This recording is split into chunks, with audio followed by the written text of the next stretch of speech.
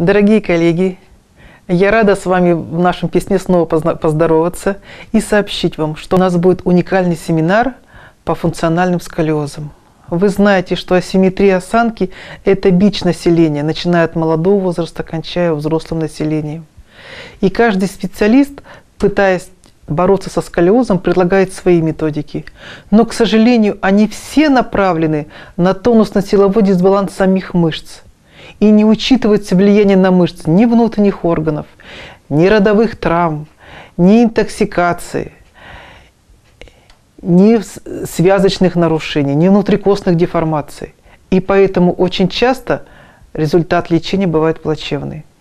На этом семинаре мы познакомимся с семи вариантами причин формирования мышечно-тонического сколиоза, хотя клиника и внешний вид сколиоза будет абсолютно одинаковый, но причины могут быть разные.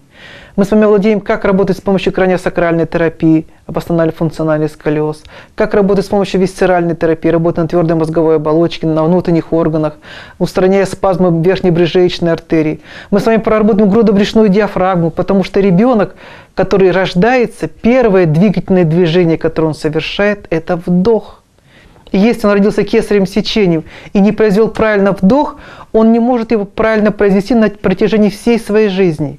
И вы же понимаете, это компрессия верхнепоясничного сплетения, это грыжа пищеводного отверстия, это компрессия блуждающего нерва, это результат панические атаки, повышенно возбужденные дети или дети с рефлексом паралича при страхе.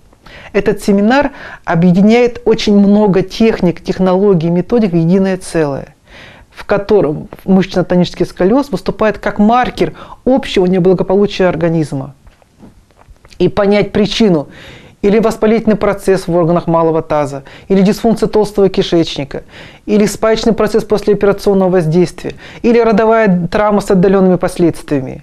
Очень трудно без методов прикладной кинезиологии. Поэтому ждем специалистов разных направлений, от неонатологов до геронтологов, Потому что очень часто сколиоз, который проявляется в пожилом возрасте, это результат патологической активности примитивных рефлексов.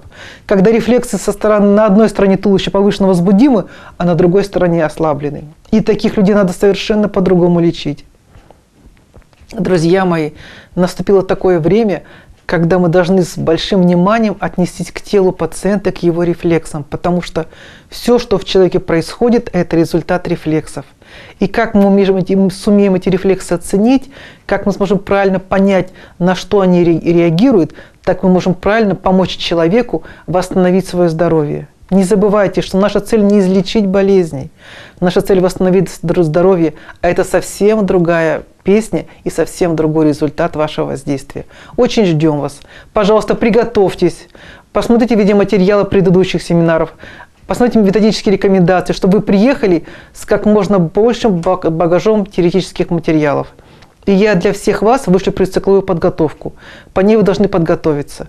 Потому что основным маркером отличия сколиозов будет визуальная диагностика. Чтобы это увидеть на людях, вы должны увидеть это на картинках, которые я вам пришлю.